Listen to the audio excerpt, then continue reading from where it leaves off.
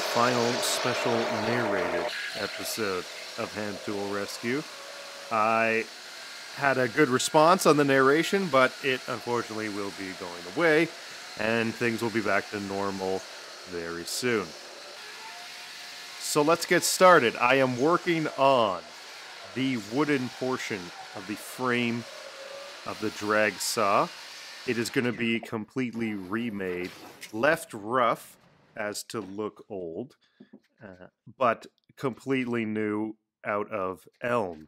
It is something that I have locally here. I actually milled this piece of wood myself uh, and dried it myself and I finally have a chance to use it. It will be much heavier, much stronger than the original pine or fir or spruce that was used, some sort of softwood. So it might add some weight, but it'll definitely keep things a lot more rigid over time. I like to personally try and destroy all my tools to the maximum so that I have to buy new ones. It's really a great idea.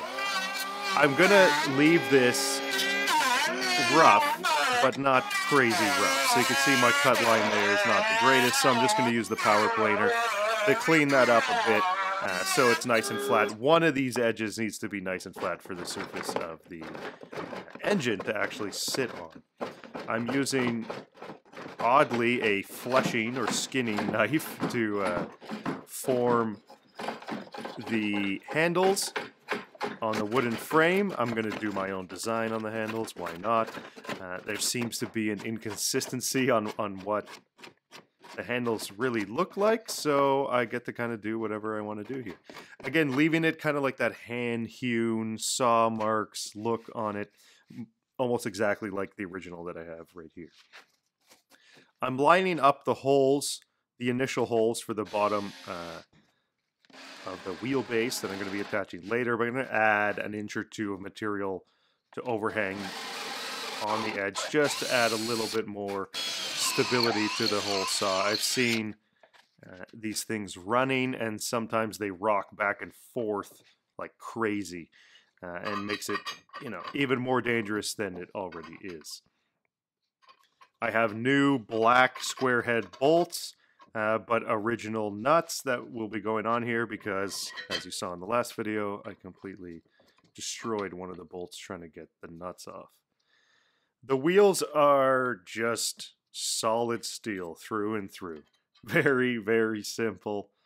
Uh, they are spoked. We fixed one of the spokes in the previous video, and they just ride on these axles that are also cast iron. So it's just a cast iron to cast iron surface a little bit of oil, and that's pretty much all you have, apparently. You can see that overhang there on the on the base. I'm hoping that that does help.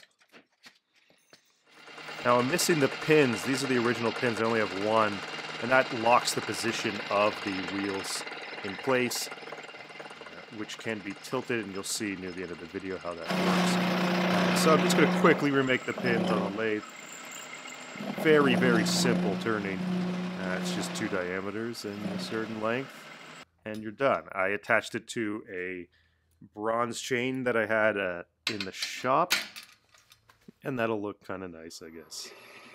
Nicer than a non-bronze one. I need to also form the, what I'm going to call the kind of hook or latch bolts uh, that are used for mounting the engine in, in the back to the actual metal frame that we just attached to those wooden pieces.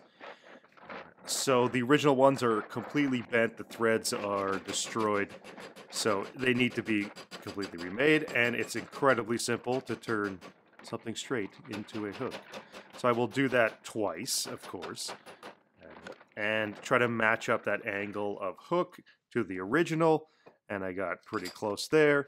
And as long as it can hook onto that metal frame, uh, we'll add some rigidity to this whole thing. You can see how that hooks underneath right there. All of these bolts were upgraded uh, in size. They went from 7 16ths to half an inch. I thought an extra 16th of an inch of material would also increase the rigidity of this entire uh, tool. It's just I don't want to see this rocking back and forth when I'm running. It's dangerous enough as it is. So now the back of the engine is situated precisely as I want. So I will mark the front positions and just drill the holes and everything will hopefully be fine. Again, this is just an upgraded size. The holes in the actual casting of the engine block are large enough to accept this. Maybe they were left undersized so you could kind of move the engine a little bit left and right to position it accordingly, but in this case, I get to align everything's completely perfectly because uh, I am the one reconstructing this. I also opted to go for a little accent of brass nuts just for the engine block. No real reason, just thought it would look good. Now, the gas tank we didn't tackle in the first part, but we need to get to this now. I need to remove all the gross gunk and paint off of it, which isn't original. Originally, this was galvanized. But I do need to find out if there's rust inside, if any of uh, the holes are blocked in the, at least the kind of gas filters or whatever is going on in there that allows gas to come out of the tank. Uh, and a check for leaks, of course. So there's something flying around in there and I can hear it. So I'm going to fill this entire thing up with Evapo-Rust beyond the rim to see if it does leak. And it seems to leak right at this crazy soldering business going on here. I'm not exactly sure what happened here. My guess is that someone tried to solder on a new threaded cap and ended up chasing the solder around the entire cap and the rest of the tank. And that worries me. Maybe the solder around the cap melts at the same temperature as the rest of the solder in the entire tank, so gas will start flowing out everywhere.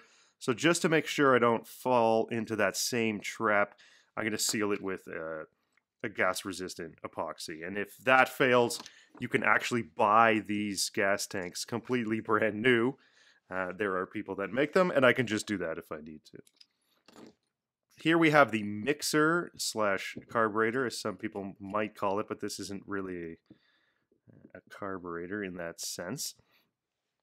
Everything has been completely cleaned. You can actually buy the valve stems um, or the or the needle valve stem portions completely brand new uh, as well. So if these don't seat well and when I close the needle valve, it completely shuts off the gas. If a little bit of gas gets through, then I can buy uh, a new needle valve and I don't have to worry about that. So little things like that in terms of having those options is really nice.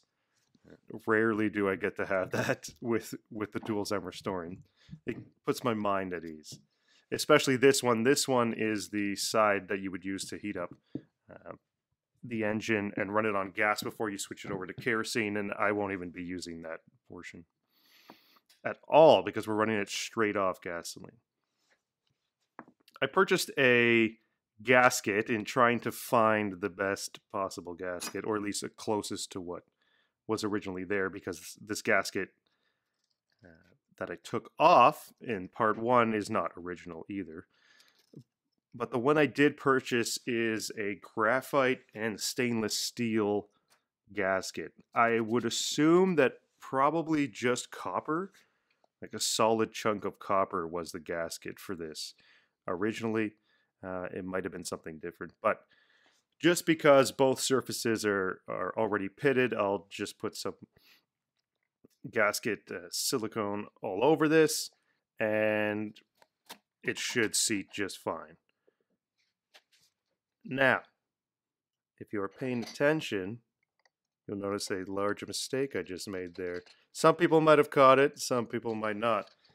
But I completely forgot to cut the hole for the piston in the gasket before I put it on. I'm a genius. So luckily I didn't torque anything down and tighten all the bolts, so I just removed it quickly, cut it out, uh, and then slapped it back together before the silicone had time to dry. You have about an hour or two before uh, that dries, and you really need to crank things down, anyways. But That would have been horrendous if I totally forgot and didn't catch that mistake. Just leaving these hand tight, and then in about an hour or two, you go and you super crank. Tighten them to the torque specs, which don't exist for this, so it's just going to be as tight as the recommended torque settings are for that size of thread. Now, the valve springs I can actually just put on by hand, which is odd. Mm-hmm. They're weak enough that that's the case, but they don't need to be any stronger, apparently. Now, the rocker arm pin was completely worn out, so I just turned a quick new one. Nothing very confusing or special about that. And I'm just loosely putting in the cotter pins that I will then cut off and bend out when I'm sure everything is correct. The rocker arms are fine enough. You have to remember that everything on this motor is uh, kind of made to be sloppy. The governor assembly was kept together, if you remember from the first video, because I didn't want to mess with some of the settings, and that actually worked out massively in my favor, and it was a great call by me by just pure chance uh, when I tried to get this thing running. It was uh, difficult, and, and I'm glad I didn't touch any of this. I know how it works now, so that makes me happy, but I just, uh, I'm also very happy I didn't mess too much with that. If you haven't noticed, I am not painting this. This entire engine block will not be painted. Um, the exposed brazing is going to be there. I want to show that off. I want to keep this thing looking somewhat old, but I need to fix everything that is wrong with it. I need to get it running. The reason I'm keeping it old looking is that I want to show this off at engine shows locally, and uh, I think that that kind of matches what it needs to be for that type of event. Uh, and if I ever want to paint this, I can I can paint this. I know everything's that's wrong or okay with it, and I'm not concerned. I think it will be a good look over time to have this thing not uh, literally sprayed green or red, depending on what year. Uh, everything, everything was spray green or just oversprayed everything. I don't personally think it looks as exciting.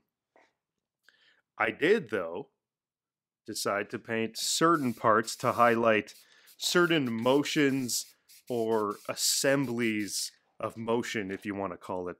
Uh, so here I am coloring everything green, the original color green, uh, of the actual moving saw arm, and the flywheel itself will be completely red. It just kind of draws your eye to those two aspects of the motor, which I think are, are the cooler of all the aspects of the motor.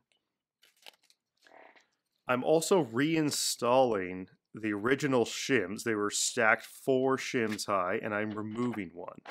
Uh, remember, I didn't touch these uh, Babbitt bearings at all, so I'm just going to remove one shim. That should tighten things up a bit uh, and bring forth a, a, new surface for the uh, nice cleaned crankshaft to ride on. As long as it moves freely and doesn't have any play, I'm completely happy with that. Getting the connecting rod on is uh, kind of tricky. And I'm just kind of oiling as I go along. Some of these parts will eventually receive grease, but the little oil just to get things going is is fine with me. I do need to still attach the counterweights to the crankshaft. And that is there because this design of a motor does not have a flywheel on the other side. It's a saw arm on the other side. So to balance that weight, you need those counterweights on the actual crankshaft. Otherwise, this thing will be jumping around uh, up and down. It would not be balanced at all. So these are the counterweights. I thought a little bit about highlighting these as well in some sort of paint color, uh, but I decided to just leave it. All the kind of mechanical engine parts are just going to be left because at the end of the day, this thing just spits out oil. The cylinder is completely open. Uh, it spits out oil and gas, and those turn basically black anyway. So what's the point? Hitting that with Scotch Brite was so interesting, even the camera fell asleep. Finally, on to the clutch mechanism. This piece, I didn't even know what I did wrong until I went to go start uh, this entire saw. This was tricky, very tricky. First off, the first problem the bronze bearings, where the balls are, uh, and the top steel cap, they touch, the ball, but the balls don't actually touch. The, they can't move. So now that there's a gap, the steel disc is actually riding on the balls instead of just on the bronze itself. That must have worn significantly over time. And now I've switched, switched to grease because I know there's a, a grease cap on this.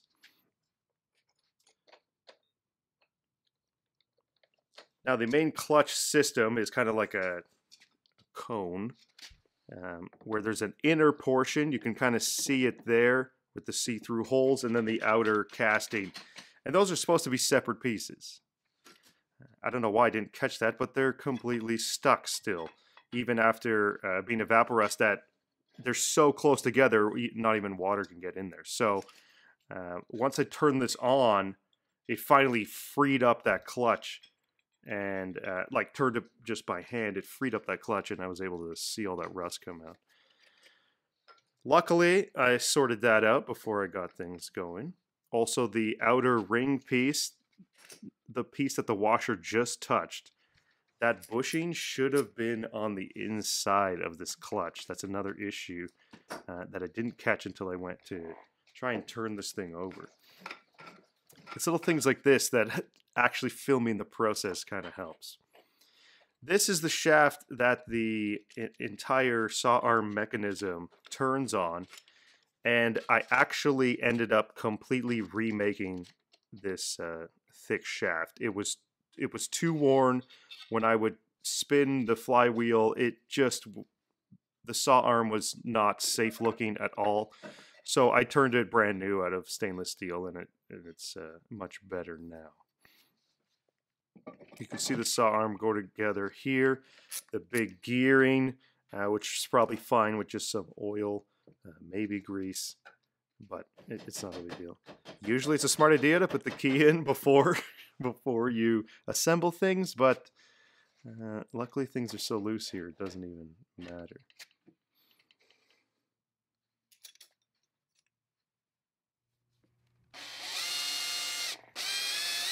With that assembled, we're back to finishing the frame. I'm trying to attach the uh, spikes near the front of the frame of the saw uh, that latch on to the log, dig in, and help uh, stabilize this entire tool even further.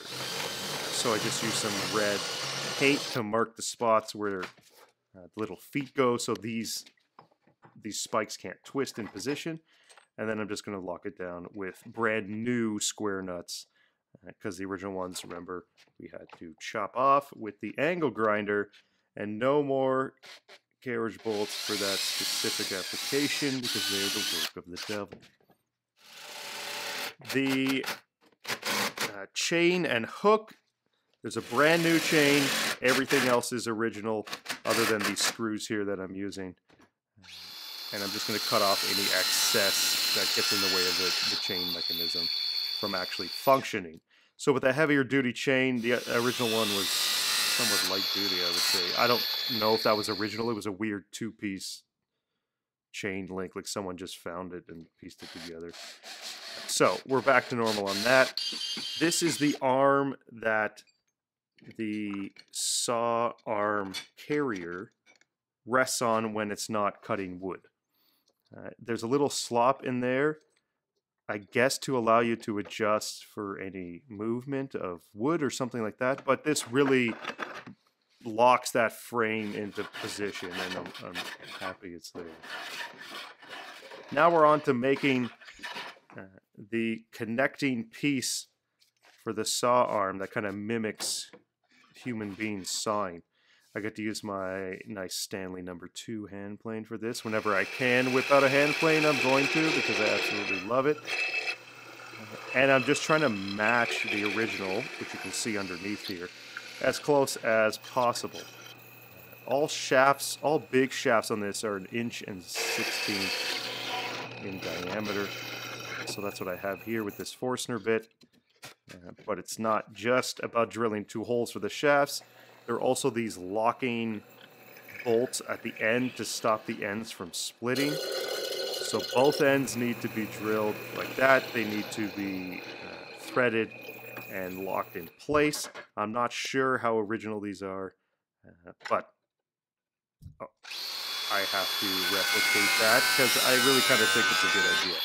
This piece right here is also elm. All of the wood that I'm going to be using is, is elm. It's what I have. I need to finally drill and countersink the oil holes. So originally I read that this was oil-soaked ash, um, and ash is kind of somewhat similar in properties to elm. Uh, probably a better suited material than elm for this, but it'll be completely fine.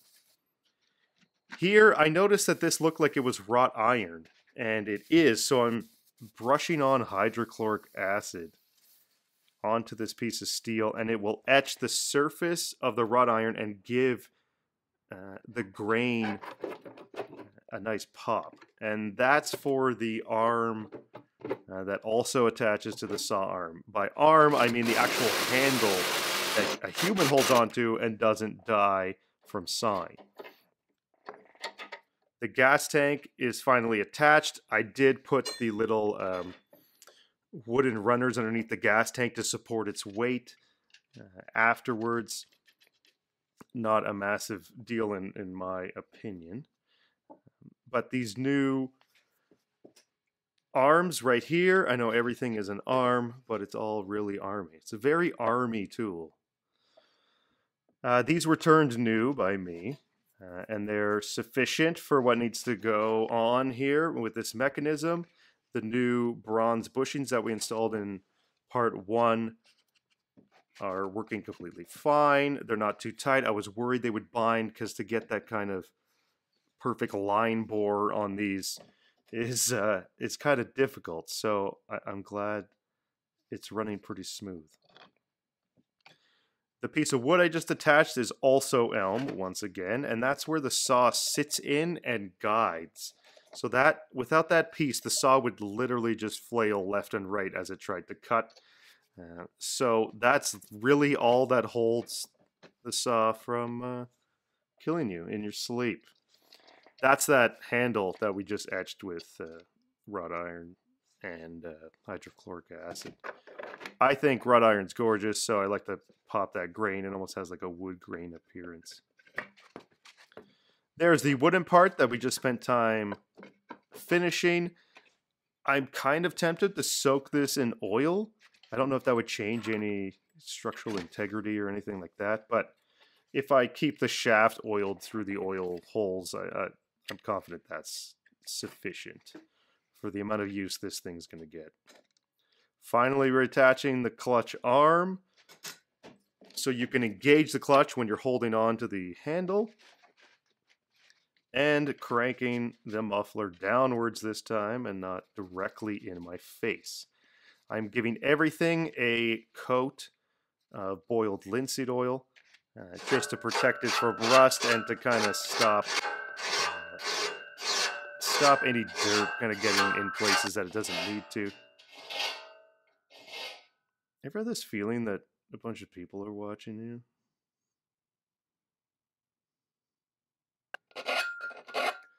I hand filed every single tooth on this, and though they were nice and shiny, it's dangerously sharp. I cut myself uh, just looking at it. The saw attaches with only two bolts. That is all. There's a lot of weight on those two bolts. So uh, it seems to have other mounting positions for something else. I'm not really sure what that is. And finally, we're onto the magneto. We took this off almost first in the uh, part one, and it didn't have any spark. So we need to investigate as to why that is the case. I'm not exactly sure at this moment, but usually with a magneto, it's the points. So we're going to investigate the points and probably clean those up. Now, when I took the covers off, I noticed some writing. There's north and south written, and then I noticed this red and black wire are new. They're not covered in cloth. They're not original 1920s or 30s wires. They're new wires. So someone has been in here doing something at some point recently. So that kind of gave me some hope that it was just maybe the points were a little bit uh, dirty, and then once we clean those up, it'll be fine. Let's just hope that's the case. I'm kind of happy that someone was in here. That means that it may have been rewound or remagnetized or just had broken wires that were grounding it out replaced. I don't know, but I'm glad to see someone was in there touching something, but I'd like to see it work more than anything. We need to remove this blasphemous black paint over brass. Uh, not original, and it comes off incredibly easily. Another sign that it was not original. And I'm just going to take 900 hours here to hand buff almost with uh, steel wool the outside of all of these and then uh, give a little accent of red on the stop button uh, just because I thought it would be nice, and then I'll wipe the the paint off and reveal the lettering underneath. The spark plug you can actually service and take apart, so I've done that. I should have replaced the copper washer, but that's not the end of the world here. I just want to see this thing work. Uh, and you have to tighten it, not too tight that you crack the porcelain top, and that's it. We'll regap it, and it should be back in service. Now this tag is obviously worn, because that's what it's supposed to look like. There's literally nothing left but the numbering that was stamped into it um, by hand or by machine. So that is crazy, crazy. Luckily, this is another thing that is currently made that I can just purchase. So all I need to do is buy one and stamp it myself with the obviously the exact same number. Uh, and then I'm done. Very, very happy with that. It even comes with the two little rivets that you need uh, to attach it to the, the brass frame. I also bought a new one of these. The one on the right is deteriorating. Hey, if they make it, why not just pick one up? Makes my life incredibly easy. These rivets are kind of uh, not pop rivets, but ones that you have to spread the bottom out of. And I'm using a uh, tapered punch on the bottom end and a hammer on the top to spread that out and lock this in place. And we're done. We're in the zone. We're so close. Now I'm cleaning up the points, uh, or the one point on this side, and just the general outside of that. And now it meets well. It seems to magnetize sensually, and that's all I really need to attach it to the actual engine block. You can see the stop lettering there on the button. I also machined a new piece, uh, or a pin I should say, for the magneto. This is what latches on to the uh, the timing rocker that decides when this thing is going to spark or not. And I'll give it a little shot of oil. The original one was just a bolt with threads, so that's not okay. And we have spark, so we're in the zone here. There's nothing else missing. Uh, we have fuel, we have spark, and we have an unnecessary amount of compression. Turning this over by hand is incredibly more difficult than it was when we started. So I'm happy to see that. It's just destroying my body brand new old oiler set at the proper oil, which is about 15 to 20 drops per minute. This thing is thirsty. The gas primer cup uh, is all, the actual stem is all bent, so I turned a new one out of brass and spun it on. Now it's more of a thumb screw, and I like it. I think it looks good. Maybe you do too. And finally, I almost was going to fill this up with water without putting the uh, valve on. And this is what use to drain the water after use. And yes, I did say water, so we need to fill this up with water. It's not an air-cooled engine. We also need to fill all grease cups with Nutella. Uh, it is the best grease possible for this application, obviously. The hazelnut notes just add a je ne sais quoi to it. I also, on my way from that table to here, decided, hey, I want to do fancy grease cups, more more brass accents everywhere because you can never really have enough brass accents. So I decided that this one's going to be brass and the one on the connecting rod is also going to be brass. Accept it.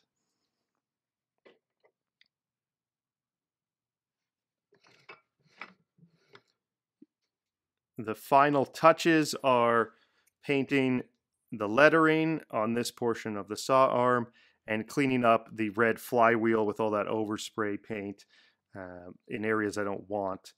Uh, so that has been cleaned up. Then we're going to cut these cotter pins to size because I bought only super extra long ones because I hate myself. And uh, we're pretty much ready to go uh, after that. I started filling up this water, and then I thought, hey, why don't I just fill it up with Evapo-Rust? So I did, and it'll de-rust as we go along. So uh, why not? You just can't leave it in there.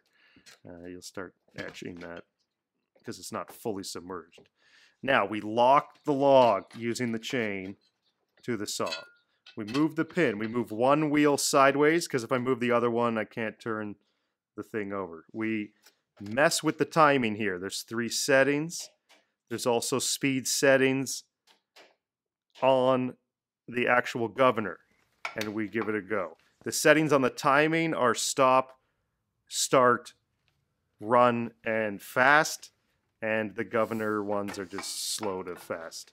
I suck gas in by putting my hand over the mixer, and that draws gas or more gas into the cylinder and I just kind of turn it over and hope I'm not flooding it at this point. It looks like it's about to go, but you never know. Oh. So now that it's actually running, uh, I am fiddling here and there, adjusting the speed using the actual governor, as you saw just there. I'm advancing the timing or slowing down the timing. I'm touching the throttle rod. I'm increasing or decreasing the needle valve on the gas mixer to allow more or less gas in. It's all kind of a balance here to get it to sound and run consistently nicely. And I finally believe I get it to run on a nice slow setting. And then I can ramp up the speed with the governor more and more. And now it's running at maximum craziness. It's already unnecessarily dangerous. Way too many exposed moving parts. Uh, not to mention a box that all it does is make sparks and shock you right beside the flywheel, so that's nice. I'm kind of trying to get it to as low a speed as I can possibly get it to. I don't need to be sawing a log at Mach